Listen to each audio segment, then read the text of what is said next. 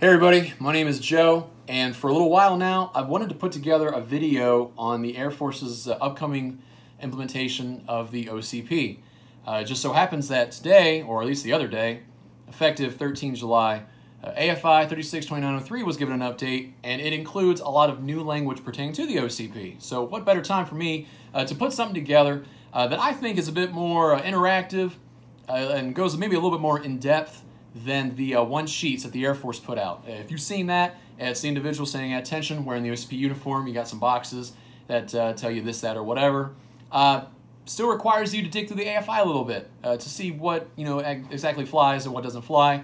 And I thought, you know, hey, I got a lot of people out there that I know in the community are super excited to wear the OCP, myself included and maybe there's some up and coming airmen that are considering joining, and they're seeing that we are shifting from the ABU to the OCP, and maybe they too have some questions on uh, what they'll look like, uh, how the uniform is worn, and uh, I mean, uniforms mean a lot to me. I, I, went from the BDU to the ABU way back in 07. ABU was uh, something else when it was first issued. Uh, the map pockets on the inside, the winter weights, uh, I deployed with them, and my counterparts that were out there in the DCUs, wow, was I jealous not only were their lapels like way out to their shoulders, but uh, summer weight DCUs with the boonie hats, uh, they look really comfortable, and I was miserable. But it is nice to uh, be shifting from a pattern that really didn't serve a purpose uh, to something that, uh, I, I, this, this is just way more military looking to me. And uh, the Army's using it, and it seems to be working out pretty well for them. And yeah, the Air Force is getting more joint with the, with the Army and some of our jobs are, are getting uh, out there with them just as much as they're outside the wire, what have you. But uh, uh, this is this is the mindset that uh, the Air Force is, is embracing now. Is that we're not all that separate. We're all working together a lot more now than we have been before. So props to General Goldfein and Enlisted Jesus for pushing this uh, pushing this ahead, and the implementation is, is coming, and I'm super excited. So I thought I'd put this together. Just go from top to bottom uh, some of the new rules that have come out with the AFI. Uh, just to let anybody out there who might be curious, hey, you know, what's going on? Uh, I really want to rock this stuff, so what do I need to get? Uh, well, hey, thanks for checking out this video. I'm not a content creator. I'm just doing this uh, just for fun. So don't expect any like crazy, awesome, quick edits and, and screen wipes and other stuff like that. I'm just putting together a video. Anyway, let's begin with a quick modeling shot because I look so dashing in the OCPs. Super awesome. Uh, some of the rules that are in the AFI pertain to the blouse. The blouse cannot extend to the cargo pockets on your pants. That you can't wear them like a nightgown. Can't be way the heck down here. They also can't be higher than the bottom of the side pockets, so they can't be way up here. I think this is a decent length uh, just because you can't get a blouse that's too long here without the sleeves being super long. And that was the problem with my ABU blouse, is that the sleeves are just are super long, even tightened. Uh, it, it's almost past the fat of my thumb. So if we're gonna rock this like this, at attention, it feels like it's right there. That might be breaking the rules because it's right there at the bottom of the pocket. But uh, if I were to go any longer, well then the sleeves would be super long. So uh, I don't know if the uniform board is still going to meet and discuss some of these things because this uh, that that might be a little too a little too stringent at the bottom corner of this pocket. I, I don't know. We'll see what they say. Uh, the blouse has Velcro and a zipper, which I've had some difficulty with. Uh, I wouldn't say the zipper is cheap, but it, it's a zipper as opposed to buttons. So whatever. Patches and rank insignia. The Air Force is going with the Spice Brown, if you didn't already know. The Army called black forever ago. The Air Force has this. It's kind of, uh, I mean, it matches, but it can kind of be difficult for some people to see. I anticipate a lot of people just being like one of these when they're approaching people because they can't tell if you're an officer or enlisted because all the colors and everything, there's no, uh, there's no sheen or shine unique to an officer's rank on the OCP. It's all going to be the same except for first lieutenants and lieutenant colonels. Their rank insignia will be black. Now, initially, I was thinking, you know, it'd be cool if all the officer rank insignia was black except for butter bars and majors because the metal rank is brown and all the other ones are silver. And what we got going on right now with the ABU is everything's blue thread except for second lieutenants and majors. So I thought maybe that would translate over to the OCP. All the officers wear black except for the butter bars and the majors. No, it would seem that everybody, enlisted and officer, is wearing spice brown except for first lieutenants and lieutenant colonels. So, uh, oh, that, that's just that's the nature of the beast. Um, good luck to everybody trying to uh, you know scrutinize and squint at people's blouses and get that salute up in time. Uh, it's it's going to throw a lot of people off. It's going to be uh, it's going to be funny. Uh, speaking of Spice Brown, we got the name tape right here. I'm not wearing U.S. Air Force right now because I'm not doing this for the Air Force. I am not representing them. This is just me, just throwing some knowledge out there, trying to be as professional as possible. But uh, you'd have Air Force right here, rank here, last name here. On the cover, another name tape right there on the back. And if you're an officer, sewn on the front. Don't cheat and think you can get like a Velcro patch on there and take this and slap it on there. Now, officer rank must be sewn on the cover. When it comes to your name tapes, Air Force tape, and your rank on your blouse and your hat, you can either Velcro them or sew them on. However, they all must be uniform.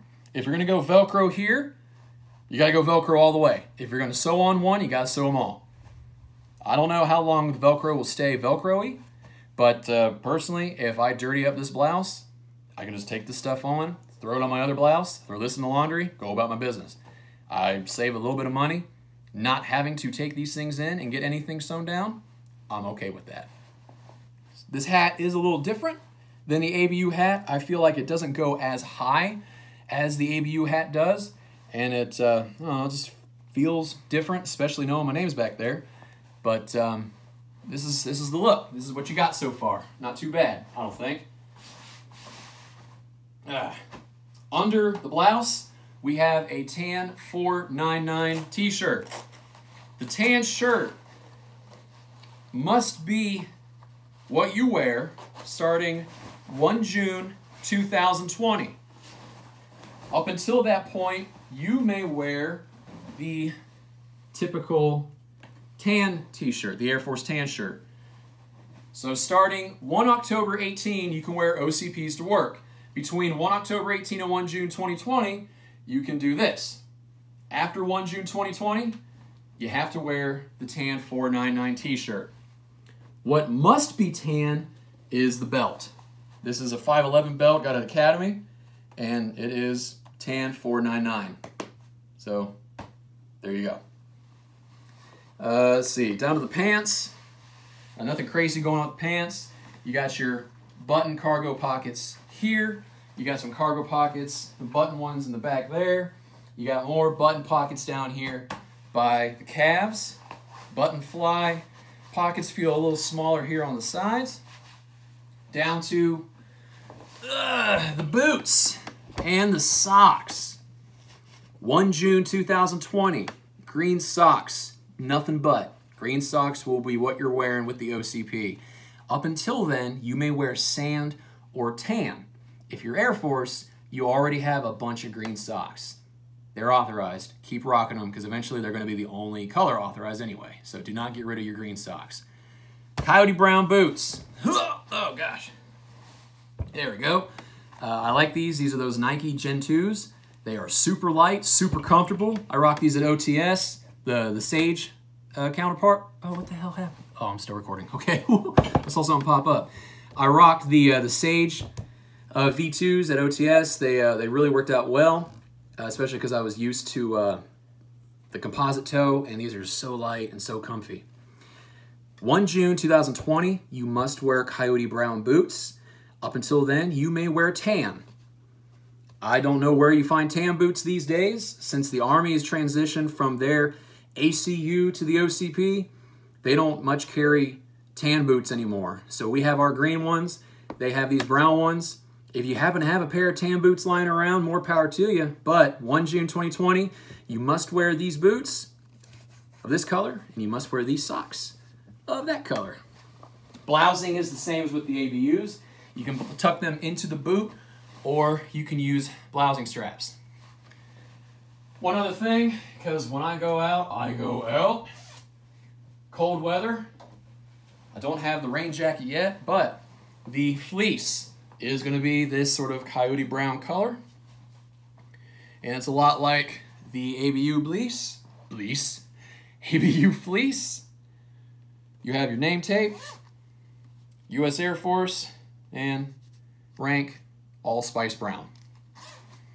One thing that I forgot to mention that I just discovered reading 2903. Uh, so my mother-in-law gave me this subdued American flag patch.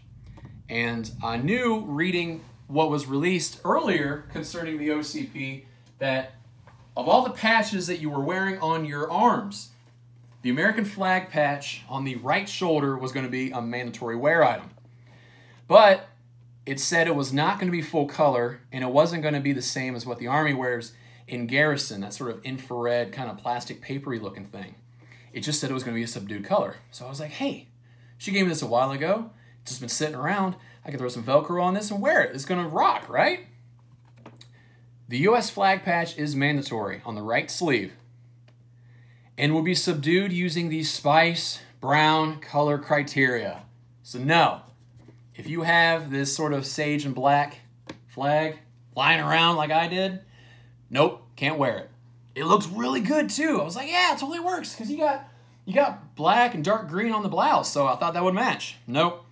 Everything on your OCP blouse will be spice brown. Unless you're a first lieutenant or lieutenant colonel. You can get your occupational badge sewn on over the Air Force name tape on your left side. That is optional unless you're a chaplain or you have a cyberspace badge or, uh, gosh, what are those other ones? Aeronautical or space. So that's what we got so far. Uh, this, unfortunately, sorry, Mom, I, I can't wear this. I really do appreciate it. I wish I could, but I can't. Uh, right now, the only place I can find a flag patch that is Spice Brown is through aviatorgear.com. They're selling for $6 each. And it is a flag that is Spice Brown. Uh, do recall uh, the rules for the flag is uh, imagine the flag is on a post, right? You're not going to hang the flag. Oh, you're not going to hang the flag up like this or anything. So it's always going to be stripes away, stars up front.